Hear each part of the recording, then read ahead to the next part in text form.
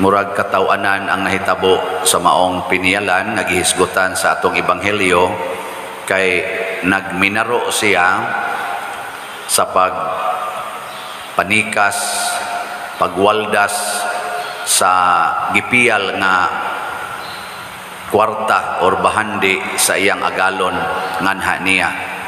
Nya sa dihang nasakpad siya naghimo na sad siya laing sa laod aron makabaton siya higala.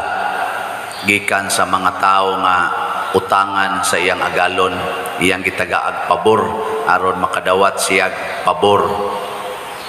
Pero wa siya kibaw nasakpan gihapon siya siyang agalon. Kani mga igsoon gi himo ni ni Kristo nga pasumbingay aron pagtudlo nato nga wa gitay gibuhat aning kalibutana nga dili masakpan sa Ginoo. Ang Ginoo mo'y atong agalon, igo ra niyang gipiyal ngan hinato ang tanan nga nindot nga mga butang, kwarta, yuta, kaning mga dungog, kining atong intellectual capacity, kaalam, mga degrees, mga honors, gipiyal ra nas Ginoo nato.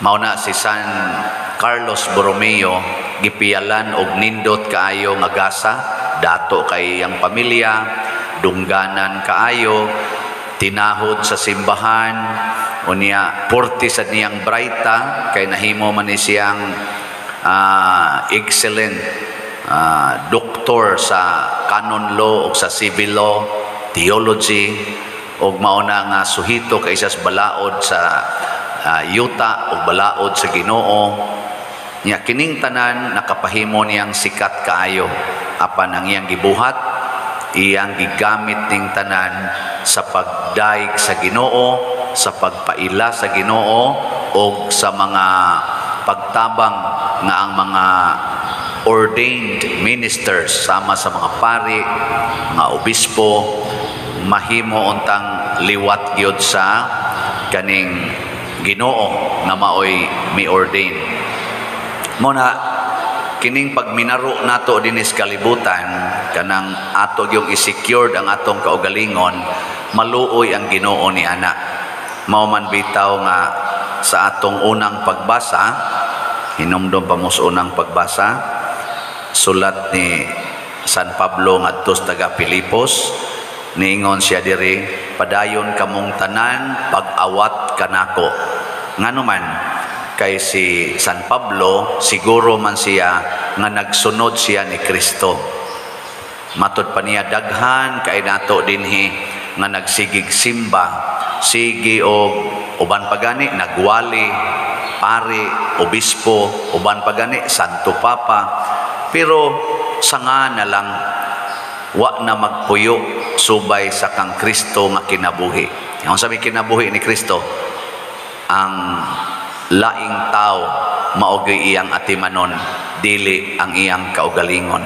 Mo nang ningon diri si San kaning San Pablo ingon sila sila daghang magtutuo kansang pagkinabuhi sukwahi sa tuyo sa kamatayo ni Kristo sa krus kay ang tuyo sa kamatayo ni Kristo sa krus mauman ang pagluwas ang paghatag og kaluwasan dili ang pagpadaghan sa sala pero kini kuno mga tawhana gabuhat sa tanan nga mga lawasnon nga kailibgon.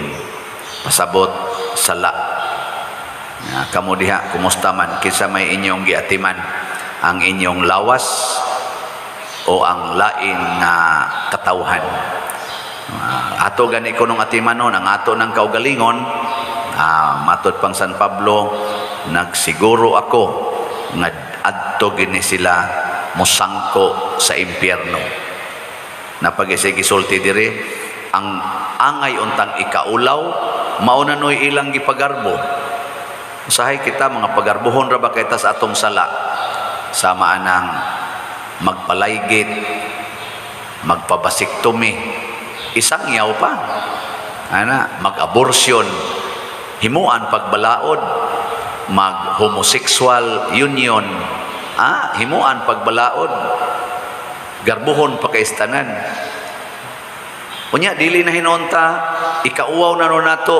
Ang purity ang virginity, ang gugma sa pagpasaylo, gugma sa mga tao nga naa sa kaning gitawag na to miserable nga kinabuhi. Murag mauwaw na hinuunta anang mga buhata nga mupasaylo, motabang sa mga nanginahanglan, murag tag ui kay taana. Muna si San Pablo nagpahinomdom magbantay kita. Nya, unsa may mahitabo kung mosunod ta aning mga santos sama ni San Carlos Borromeo. Matod pa dinhi sa atong tubag sa Salmo, nalipay ako, nagiingnan ako nila, mangadto na kita sa balay sa Ginoo. Kada gid nato subay sa dalan padulong sa balay sa Ginoo nga mao ang langit, naagid ning kalipay. So ang kalipay mga igsuon dili sa pagtagbaw sa lawas nato kung dili sa paggamit niining lawasa para paghatag og kalipay sa uban. Naman tay panultihon nga nagingon, you cannot give what you do not have. Di ka makahatag og unsay wa nimo. Ang Ginoo maro kay ni siya, magsige ni siya og paniid unsay atong gustong ihatag sa atong isig katao. Kung gusto ganitang muhatag og kalipay sa atong isig katao, iya dayon tang sudlan og kalipay. Muna ka na mga tao nga nagsigig tabang sa uban, di gid na mahubsan. Sige lagi nagtabang, sige lagi og tabang, mag-adam na og kadako ang ilang ikatabang. Si San Carlos Borromeo, ang iyang gipaningkamutan og tabang sa simbahan, mao ang iyang intellectual capacity ug ang iyang self-discipline on morals and kaning atong mga faith and morals. Sa sige niyang paningkamot nga mao ni iyang ikapaambit, gisuplayan siya sa Ginoo og extraordinary nga wisdom og strength kaligon batok sa sala. Ug mao na nga bisag 46 years old na ni siya namatay. Dako kay siya gikahatag sa kalibutan. Ako karon wa na 59 na padong. Ambot unsay nahatag nako sa kalibutan. Pero sige lang naaman say ginagmay nahatag kay ngako sang tumong sige sag panghatag. Og tabang ngadto sa mga kabos ug sa mga nanginahanglan ug ako ginang nasinati nga daghan kay isupply ang Ginoo. Kini lang atong parokya dinhi kamo mga online parishioners. Kay bawo gid mo ana nga daghan kay tag natabangan.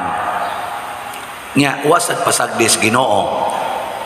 Nitabang ta sa uban minindot pud ning atong parokya bunga ni sa grasyas Ginoo. Nya kamusang gasigig tabang dinis parokya kay naaman moy kanang gugmas pagtabang. Kasiguro gyud ko gisuplayan sad mos Ginoo og daghang bahandi para makapadayon mog tabang. Og kana mauna na ang kalipay.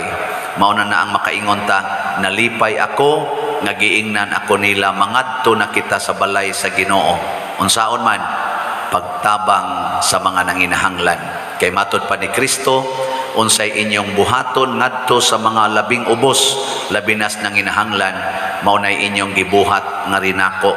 Ug ang akong amahan musukli kaninyo og gatusan kapilo nga panalangin. So dili dayta magminaro nga atong tikasan ang Ginoo. Unsaon man nato unahon nato pagpakighigala sa Ginoo murag ang sipyat aning ni ang sulugoon didto siya nakighigala sa mga utangan sa iyang agalon. Didto na lang unta siya nakighigala sa iyang agalon. Pinaagis pagpangayog pasaylo pinaagis sa pagbag-o sa iyang kaugalingon ug paghatag og bag-ong dedication and loyalty ngadto sa iyang agalon. Kita mao nay atong buhaton dili ta makighigalag mga tao sa kalibutan ari ta makighigala sa atong Ginoo. Pinaagis pagpaubos. Mangayog pasaylo sa atong sala. Magbag-o sa kaugalingon. From being selfish to selfless. From being greed to generous. From being angry or self-righteous to become humble and considerate. Ingin ana. Ug ato ning buhaton, suplayan din tas Ginoo sa mga grasya.